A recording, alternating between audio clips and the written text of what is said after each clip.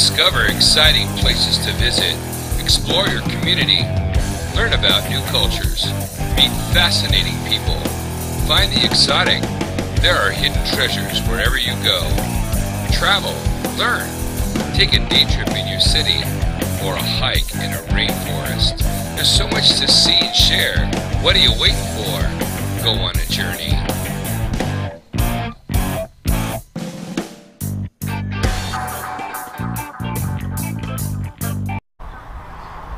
Welcome to On a Journey.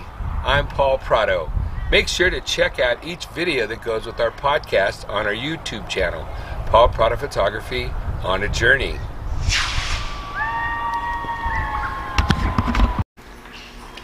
Welcome to On a Journey. I'm Paul Prado, and here we are at Hidden Valley Nature Center in Riverside, California.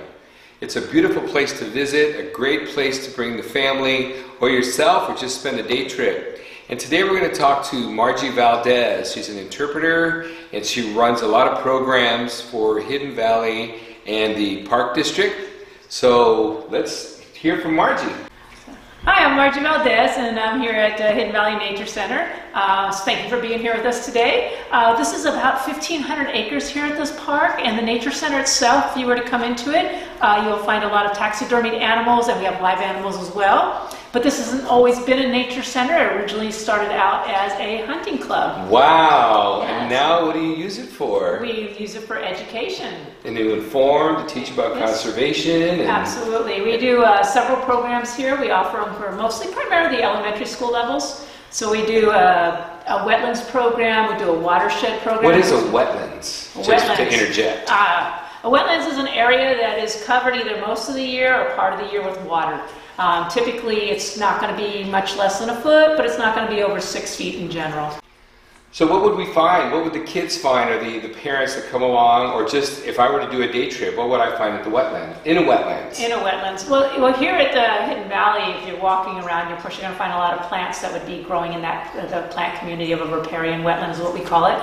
Uh, so it's going to be along the river. We're right next to the Santa Ana River. Uh, when you're up here on the bluff, if you look out over the bluff towards the San Bernardino Mountains, you actually see the Santa Ana River bottom. Sweet. We used to be able to see the river, but it took a little bit of The detour, detour. detour over a little closer to Limonite Avenue, so it's a little hard to see from our spot now. So if the kids are out there doing a little, what do you call a little exploration, what would they find?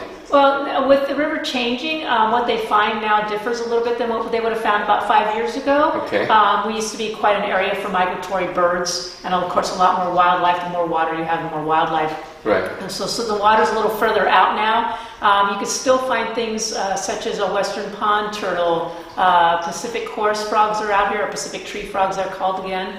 Um, our western toads are out here. Of course, then you're going to have raccoons, coyotes, skunks, uh, long-tailed weasels. Uh, A long-tailed weasel? Yes, that's my. That to me has been one of my favorite sightings here is the long-tailed Wow. weasel. Uh, we have bobcats that live in this area. Uh, last year we actually had uh, a female. She had two two kits. Oh, nice. So we were able to see her. She came up on the lawn occasionally. And Oh, I actually got a picture of one of the young um, kittens right outside the back door. Came right up to the back door and was looking in the back door. Oh, nice. So, what a surprise. That was a great surprise. Uh, yeah, we just have a, quite of a large variety of wildlife here. We are a part of a sage scrub community, plant community, and a wetlands. Because if you come up on Mm-hmm. So the bluff, sage scrub is more dense- uh, dense dense, brush? waist level type sh- uh, shrubs and brushes. Okay. Um, if you're driving along, you see a, a lot of yellow flowers with a kind of a fuzzy gray looking leaf. That's a, our Encelia plant, and that's really abundant. And that's usually a good indicator that you're in a sage scrub area. Um, of course, we have the different sages growing here too, which are very aromatic if you rub them. Uh-huh. Um, got lizard snakes. You got a little What kind of snakes do we would might we see? Uh, gopher snake is uh, one of the most common ones that's spotted around here. Uh, the red racers are another one that's Coach spotted. whip? The coach whip, yes. Yeah. I know. I learned them as co- uh, red racer. Same here. Coach whip. I grew up as a red Uh, racer yes, until they told me at the museum. it's coach a coach whip because it looks Thank like you. a whip and they bite. I'm like, okay. yes, we have those. We have king snakes. Uh, I have Desert kings, California kings. California, California kings, which are usually um, uh, brown uh, and tan, uh, ba- like a brown and beige, beige, right? or Yeah. like they, there's some variations in coloring. And then they eat, they eat rattlesnakes, Rattlesnakes, correct? yes. That's why they are the king Yeah. snake. They are the king snake. And I have once in my 14 years of being here at the parks, has I've seen an actual uh, red um, diamond rattlesnake here on our Wow. patio. So they're not too visible, the rattlesnakes, but this is their home. So be careful where you step, carry a stick, a walking stick of some sort, and be mindful where you're stepping. Yeah, I've only seen one in 14 years, so, So uh, chances are kind of slim. What kind of birds would we see here? Uh, well, the most common birds that if, if you were out here uh, for large birds that are easier to spot and most people can, can see very readily without wearing binoculars, uh, we have our red-tailed hawk and our turkey vulture. They're probably the two of the most common large birds that you'll see up in the air. Of course, we get some crows and ravens that come through. Uh, smaller birds, we have the American kestrel. Um, yes, and actually, there's a female American kestrel. And uh, they're very common around here. Uh, this time of the year, you'll start seeing meadowlarks. That's the noise they make, so it's a good facsimile. It's a smaller falcon. Yes. You can see the talons are smaller than the red tail. And they eat lizards. Lizards are one of the more common, Okay. common prey. Uh, So if you're out here at Hidden Valley, keep an eye out for this beautiful mask, black mask, kind of auburn bird. It's a kestrel. And what about this? we What is a, this? a barn owl. Yeah. And we do have them here. Uh, we have, uh, they, they're here, the great horned owl, and I've seen screech owls here as well. So those are the three owls that I've seen here. You got the great horned owl, the barn owl, the and the screech owl. So the great horned owl, I understand, is the only owl that hoots. Yeah, they're and the this- hooting owl. And they're the hooting owl, and the barn owl goes, Yeah, and it's a really eerie it is. scream. Which is why there's a lot of super. I think part of the superstitions around owls is there's their eerie, their eerie screech, and then also their uh, their real light color and their silent flight. So you just see something kind of white, um, and you can't hear it, but you can see them. like a spirit. Yes. So the barn owls we had we had resident barn owls that we were able to watch year after year. Uh, they're not very big on building their own nests. They're usually use cavities that have already been created by another animal, or Mm-hmm. uh, in this particular case, wind and rain erosion had uh, eroded a hole in the bluff overlooking our road out here. Mm-hmm. And so for every year, we'd be able to track and watch the, them go in and nest and raise young. So a resident bird means it's one that lives here yes, year, year round. year round. And uh, we're- that hole was used repeatedly over each year we were able to spot. And then someone go, how do you know that they're in there? Well, you start seeing their whitewash or their, their, Their excrement, yeah, coming down outside because they're not going to go inside the nest, they're going to go outside. So we'd always watch for the white streaks coming down and we'd say, oh, they're back again. They're. So if you're ever out hiking out in the desert or riparian or scrub area and you see a tree or a wall, a dirt wall that's got a lot of white smear like someone got a paintbrush, uh, that's not paint, alrighty? It's their wash, we'll call it. whitewash. So else, what kind of mammals would we, would a visitor see maybe early in the morning or in the evening? Coyotes are most prevalent. Uh, we see those more frequently. We hear them as well, especially in the evening time. Nice. Um, so we really caution people. They're not normally an aggressive animal, but as we are somewhat in an urban area, uh, they do get more and more used to people. And so you want to make sure that if you're bringing your dog, you keep your dog on the leash. So you see, it's uh, a dog-friendly park Yes. at Hidden Valley. Yes. But make sure you leash your dog. I believe it's five dollars for admission to come to the park for day use, and two dollars for your dog. So you can enjoy the day walking miles.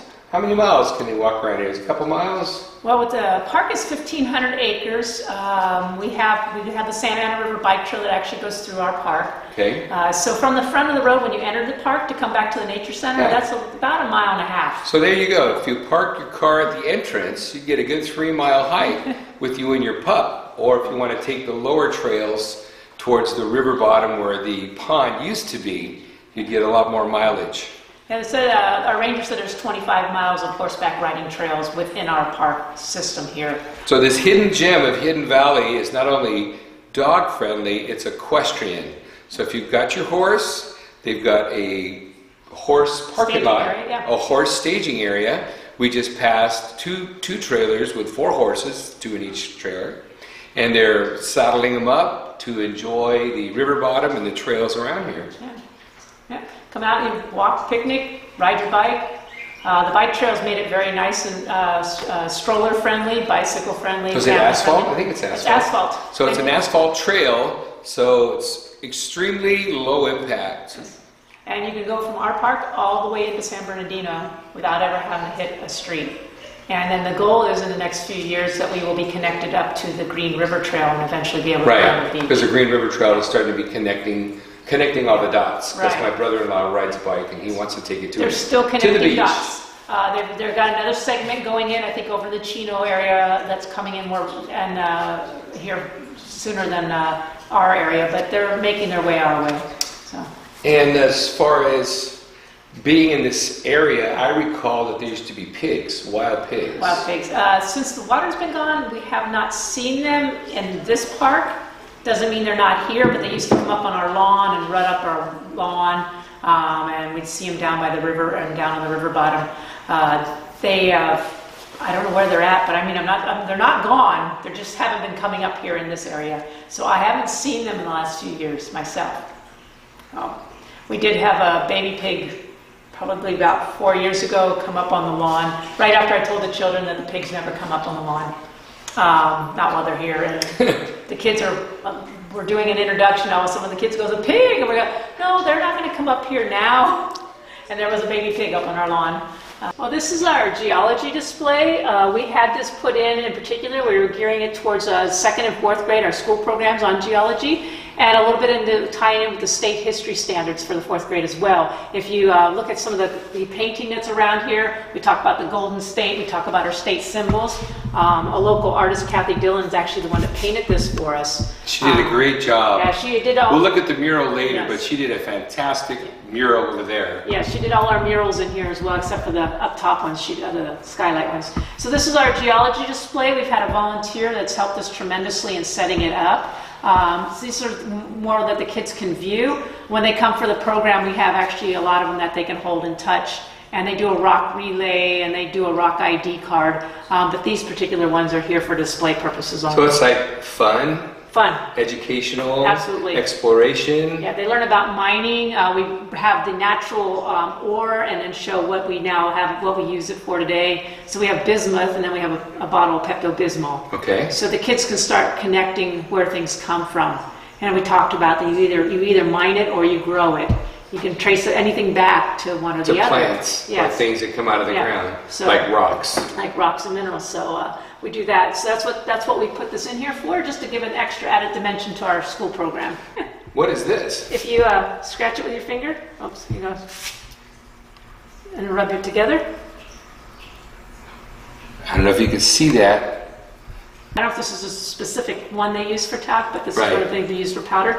The Native Americans, the Steatite, um, the Tongva tribe that was in this area, and the Tongva, Tongva? the Tongva tribe, that is the name they go by today. That is not their original name. Okay. Um, they are also known as the Gabrielinos, and that was a Spanish name. Gabrielinos, yes, we did a whole thing on the Gabrielinos. Well, that's the same tribe, The the Tongva? So Tongva, Gabrielino is synonymous. Yes. And what did they use this talc for? Uh, they use steatite. It's very easy to carve, so they would carve and make um, either uh, type of jewelry with it, um, bowls for cooking, Mm-hmm. Nice. pipes. Uh, it holds heat very well, distributes heat very well. And this is Wow. actually, this is not, they use the one Catalina steatite, so this is not the one that they would have used, this Uh-huh. particular type, this particular specimen.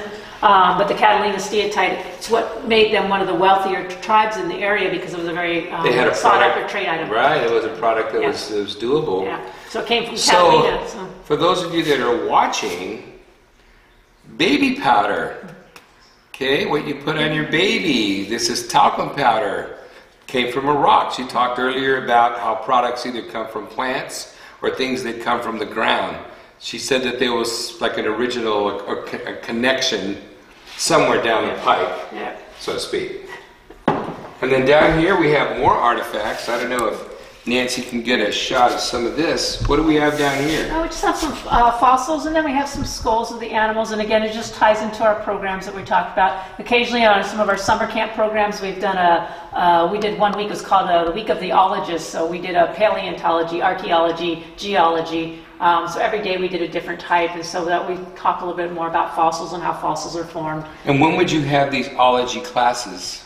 The summer camps are offered in June, usually two weeks in June. We, in this particular year, we're doing uh, from the mountains to the ocean. So we're actually going to be studying the Santa Ana River uh, from the mountains. It's a virtual journey from the mountains up by the pine trees where the Santa Ana River starts and all the way down through our area and all the way out to the ocean where the Santa Ana River ends up down there by Huntington Beach. And this is called the what? It's uh, from the mountains to the ocean. From the mountains to the oceans. And then how do they sign up? Um, on our website, uh, www.rivcoparks.org. Rivco, R-I-V-C-O dot O-R-G. Parks. Parks. Dot org. Let's do that one again.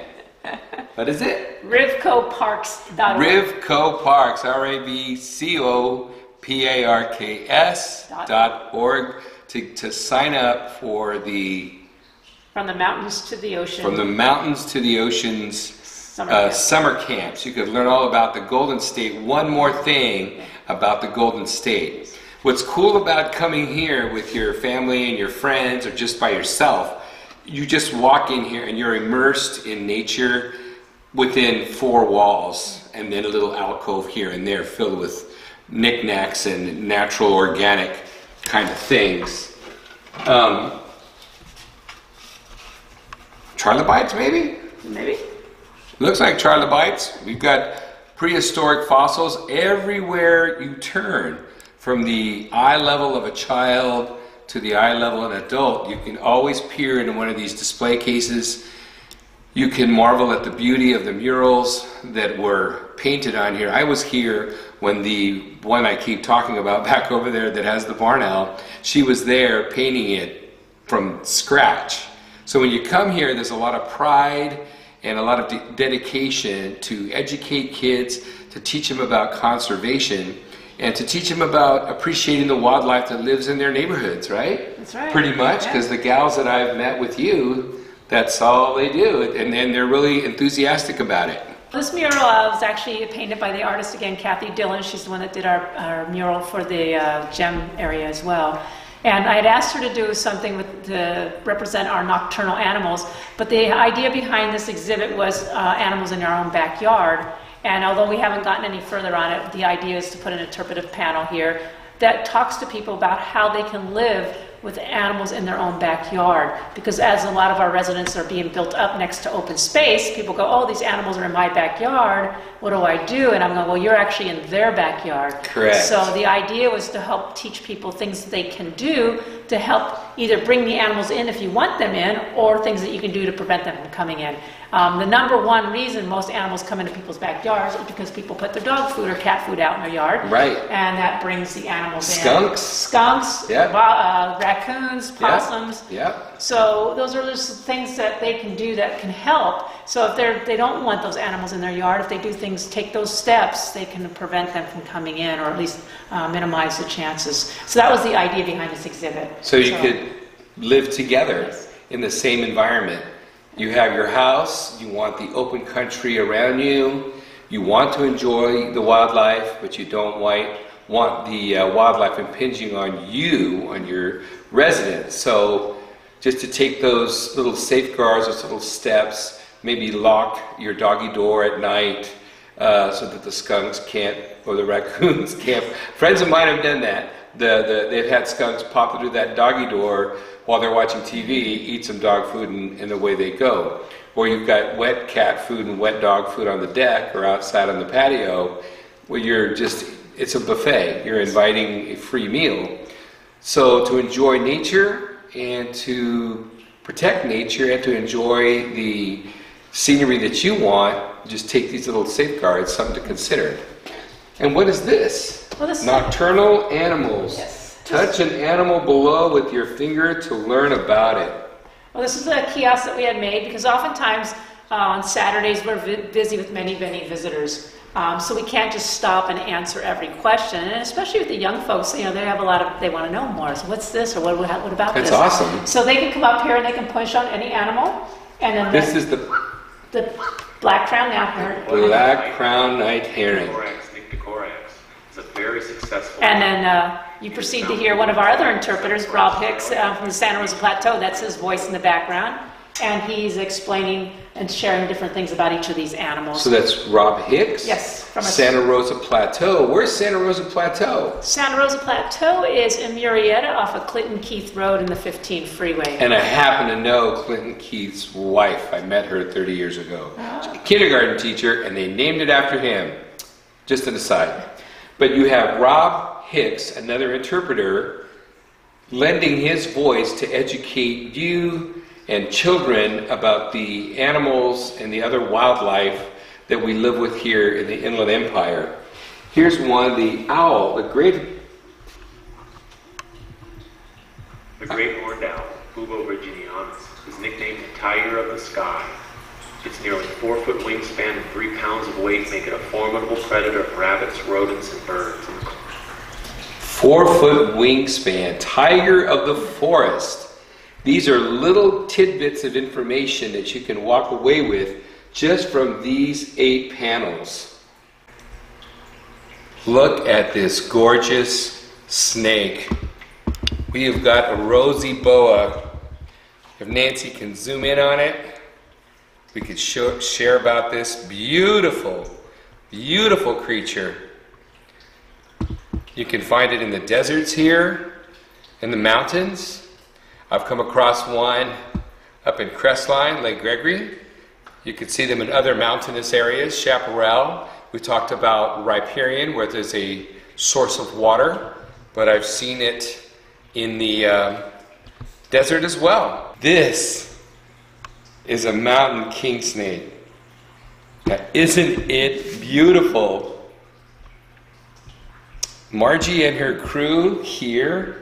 And what other parks do you manage or supervise? Uh, Santa Rosa Plateau, Idlewild Nature Center, Jensen Alvarado Historic Ranch, uh, Gilman Ranch and Wagon Museum, Wow. the San Timoteo Schoolhouse, and Alamos Schoolhouse out at, at the Multi-Species Reserve um, down below Temecula. Now, do some of those places have critters as well for visitors, or The- either the docents or the caretakers that take care of them? The Idlewild Nature Center has some uh, animals on, on premise that they uh, are out visual, visually for the visitors. Um, the Santa Rosa Plateau has a few snakes, but they're kept in a back room, and I think he only uses those for school tours.